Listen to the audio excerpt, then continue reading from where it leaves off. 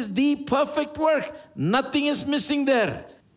It's perfectly done. It's a perfect work. It's perfectly perfect and completely complete. There is nothing to be added, nothing to be taken away.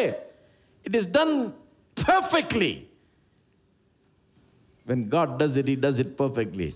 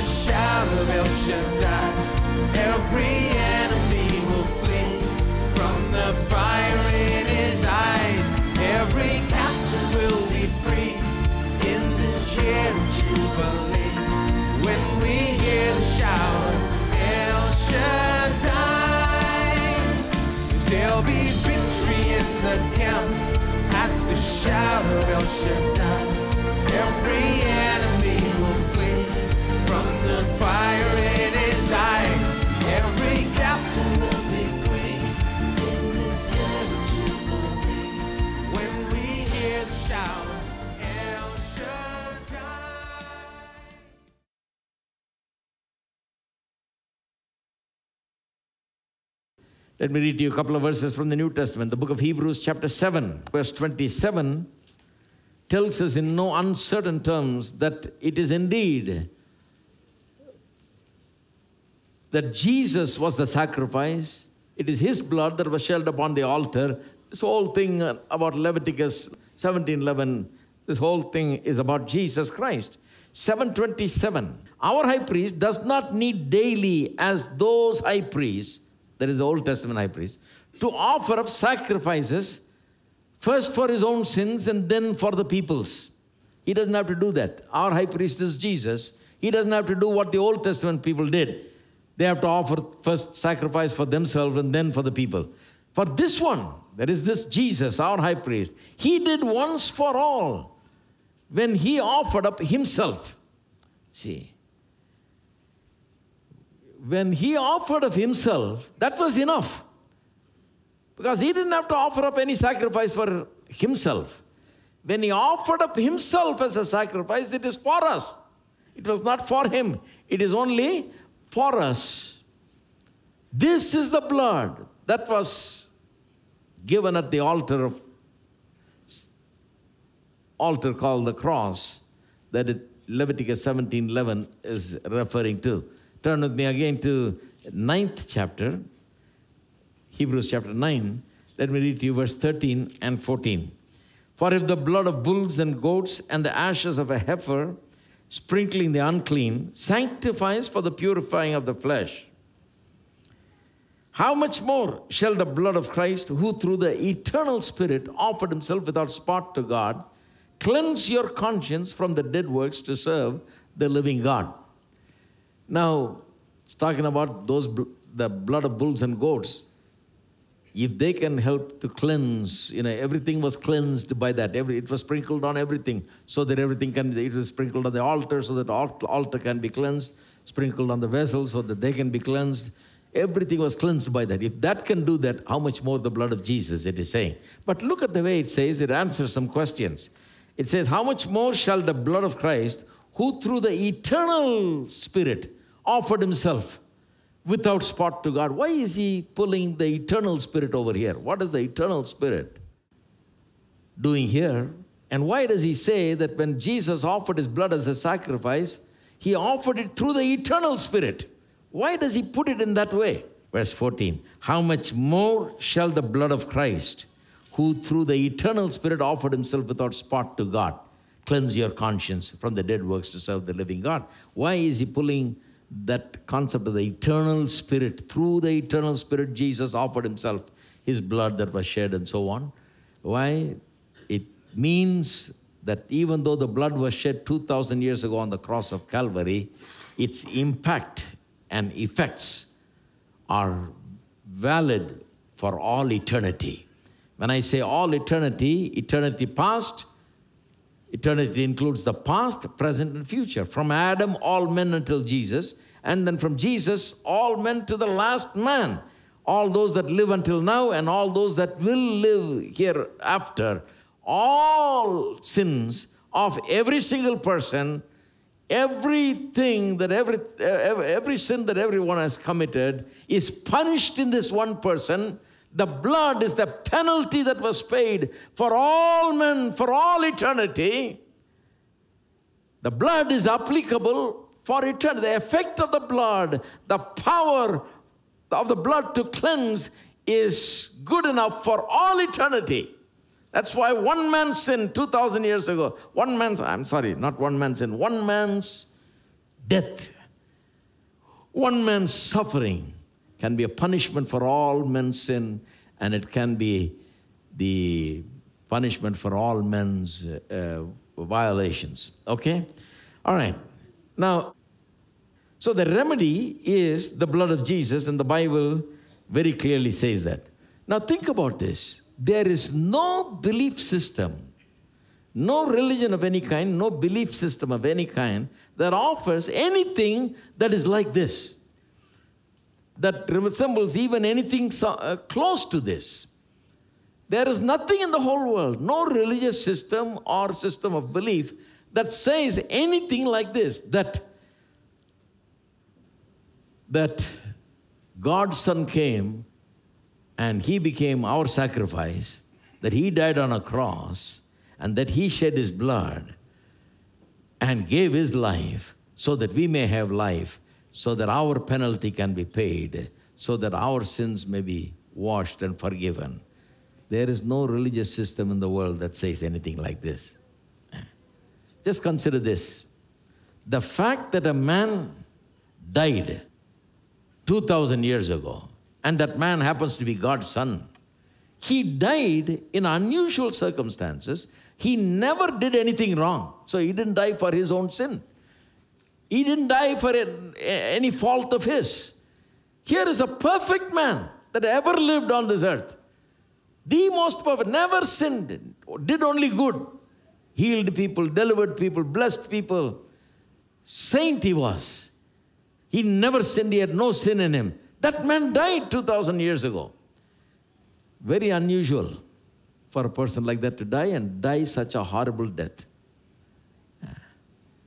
Isaiah 53 says that uh, he was so disfigured that they can't even look upon him, that he didn't even, he lost even the appearance of a human being. Isaiah 52, verse 14 says that. Even the appearance of a human being was lost, so marred was his visage, the Bible says. Disfigured he was. So horrible the death was. Why should a saintly man who has never sinned, for no fault of his, die like that? What caused people to kill him like that? Pilate washes his hands, saying, I find no fault with him. You guys are bringing all kinds of accusations against him, but it means nothing. He has violated no law. He has violated nothing. He has done anything, nothing wrong. I'm washing my hands. I'm clean, he says. But then hands him over to die because everybody is demanding. Just imagine going to a court of law and the case goes against you because of the majority that is shouting. That's a very poor judgment, isn't it? Eh? Judgments are not given by uh, asking who's got the majority. the court goes only by the law book. But here is Pilate sending him to be crucified, knowing that he has nothing, done nothing wrong, but because everybody claims that he must die, everybody uh, demands the death or the crucifixion of Jesus, he hands him over and he dies. So this man, son of God, sinless person, dies in most unusual circumstances. The horrible death he dies. And then, third day he rose again. And then the third thing is, he is living until today. Have you heard of anything like this? Now, see, sometimes when you're in church, these things become very, you know, ordinary because you're hearing it all the time, singing about it all the time. It sounds ordinary. If I was listening to some kind of story by someone and he said God came and took, took a man's body and came into this world, he took on human flesh and came in this world and died a horrible death and then on the third day he rose again, and that he is living until this day, and that salvation is available through him, I will cancel all other appointments and listen to this story. Because if this is true, then my whole life and my future rests on this fact. If this is true, then I must pay attention to that. I cannot just hear it and go away. I cannot consider this an, as an ordinary thing. This is not an ordinary matter. Which religion, which system of belief has any story like this that a man came, died, rose again, and he's alive till today, and he can forgive my sins on the basis of the shed blood? My sins can be forgiven. There is nothing in the whole world like that. If this is true, then I say to you, this is the most important single event in all of human history. There is nothing that can compare with it. Not only that, the remedy is a perfect remedy. Hebrews chapter 10 tells us that. Verse 14. Perfect remedy. What is a perfect remedy? Let's read it. For by one offering he has perfected forever those who are being sanctified. Look at the way he puts it. By one offering, he has perfected forever those who are being sanctified. The being sanctified indicates a progressive work, but what he did is indicated by a perfect work. That is, it's completed. It's perfectly perfect, completely complete. Eh? That's the way you should put it. There's nothing left in that to do anymore. You can't look at the cross and what Jesus has done there and say, well, I think he missed out one item there. We need to add this to that. No, there is nothing to add because it is perfect.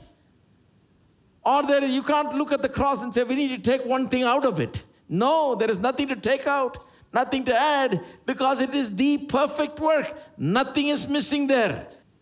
It's perfectly done, it's a perfect work. It's perfectly perfect and completely complete. There is nothing to be added, nothing to be taken away. It is done perfectly. When God does it, He does it perfectly. Then why it says, in the progressive sense, about us, that we are being sanctified. Because the way we received uh, the benefits that come through the shed blood is progressive. What the blood has done, it has done completely and finished. We receive it slowly. Why? Because we are human beings and we follow all kinds of things to just to believe this thing, it takes some, some time. See how long it takes for me to preach this thing, you know. I'm going to preach for many weeks on this. It takes so long to just get it in, and when I preach it, I know there are some people sitting there and saying, I doubt that. you know. Because I heard once that that's not true. How can that be? You know, How can one man die and everybody be saved? How can one man die and everybody's sins will be forgiven? How can this happen? I doubt. See, I was born in this background, born as a preacher's kid, raised in the church. It took me so long to believe all these things.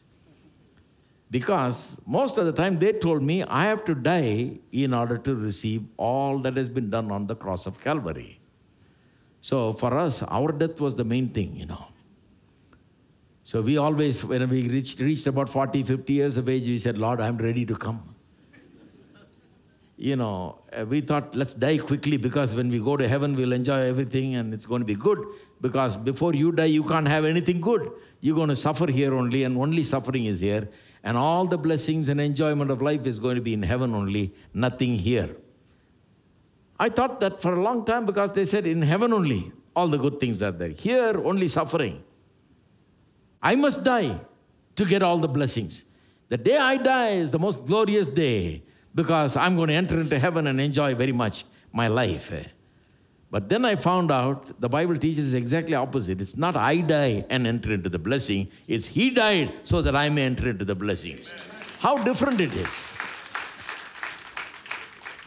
You know, you just put it slightly different, you're lost. That's it. He died so that He may give you everything, but you still can't enjoy anything because they told you, you have to die to get there. Hello? I've been there, that's why I'm telling you. I don't want you to be there. I'm telling you, you don't have to die. Your death does nothing, my friend. His death, death has done everything. His death has done everything. So that is progressive. See, even though he has done it perfectly already 2000 years ago when he died on the cross, shed his blood, everything, his work is done perfectly, perfectly provided everything that I need, that I would ever need. The knowledge of these things comes to me progressively, therefore, only progressively can I enter into the benefits and the blessings that the cross has brought into my life. Day by day, I'm understanding. More and more, I'm understanding. For some years, I never understood certain things. I never entered into those blessings, but because never saw, nobody told me so clearly. That is why that is one of the reasons I began to teach as clearly as possible, as simply as possible, so that even a little kid can understand. I try to make it simple. Because I've been there where I sat there and I never understood anything. I just sat there and wondered what's happening, you know. They'll be running up and down shouting, and I said, Wow, you know, what is he saying? And when we came home in our house after Sunday church, you have to tell what the preacher preached, otherwise, no food, you know. so I'll try to listen very hard to understand, you know, especially when some of these preachers came. I had a very tough time, you know, because I couldn't really catch what they're saying. They read one verse and their three points seem to be leave, read the verse, leave the verse, never come back to the verse, you know. so I always noted down the verse. So when my grandmother asked, I can just give her the verse. Say, listen, he preached on this. what did he say? God only knows.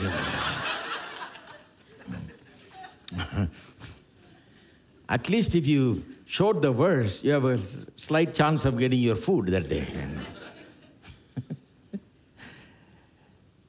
But you see, it takes time for me. It's not easy. It doesn't didn't come easily. I had to learn. I had to, I had to go into that. I had to get into that. Even when I when somebody preached it, I couldn't get it immediately. So many things I had to listen so many times. I would buy some of these things that were they taught and listen to it again and again and again and again until I got it you know, keep the Bible and look at it and look, listen and talk to others and discuss it and come back to it, listen again, so that I may get it. It didn't come easily.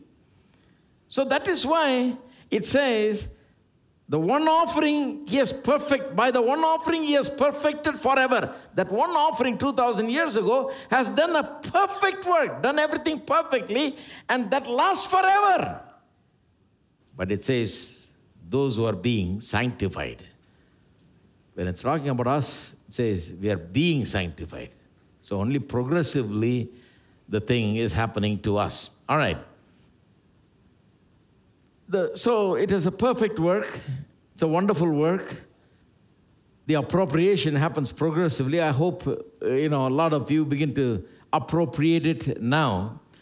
Uh, begin to appropriate one by one as we cover some of the things that have been done through the blood of Jesus. When the blood of Jesus was shed on the cross and the sacrifice was made, it unlocked treasures of God's provision. It was like a whole go down full of provisions. God wanted to give to me. It was kept there for me. And throughout all eternity, God has planned it, purposed it, kept it for me. But when Jesus died on the cross and shed his blood, that was the key that unlocked God's provision for me. So the cross is the center of the gospel. That's why. Why? Because it is when he died, it is when he shed the blood, all the things God opened up for me. I was given entry into all the blessings of God. Until then, sin was a factor. It kept me away from God's blessings. But when the, when the cross happened, when the blood was shed, that is when all of God's provision was made available to me. It was it unlocked a treasure house of God's provisions for me. So I say to you that the cross is the center of the gospel. It has to be at the center of the gospel. You cannot, you can teach about all kinds of blessings, but no blessing is possible without the cross. That's why you should never divert from the cross. You, you have to be grounded in the cross. You can talk about this, that, and everything, but nothing works without the cross. It is the center. Now, the fact that cross is the center is revealed in Isaiah in a very wonderful way. Go back to Isaiah 53. I spent all this time just to come back here.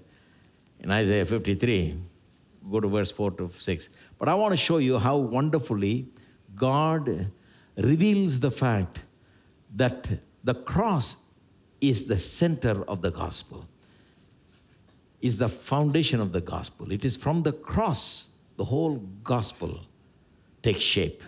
You take the cross, there is no gospel. That's it. Everything comes, comes from the cross. That fact is revealed in the book of Isaiah. So let, let's see that.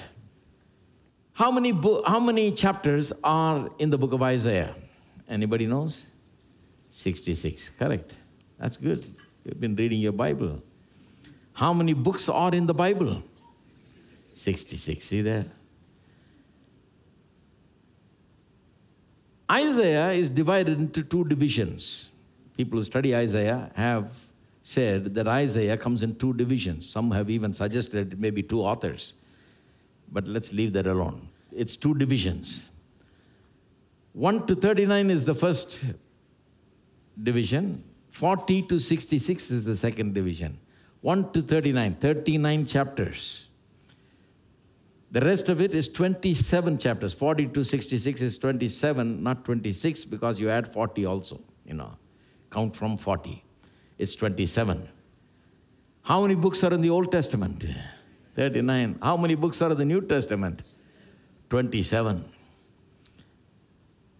So they have said, those who have studied Isaiah for many years and been experts at it, they say that in Isaiah there is a New Testament referring to chapters 40 to 66. They say within Isaiah, you can find the entire New Testament within Isaiah. So they've called Isaiah New Testament in the Old Testament. Over sin, he is conquered. Hallelujah. He is conquered over death. Victorious, hallelujah, victorious over sickness. He's triumph, hallelujah, he's triumph.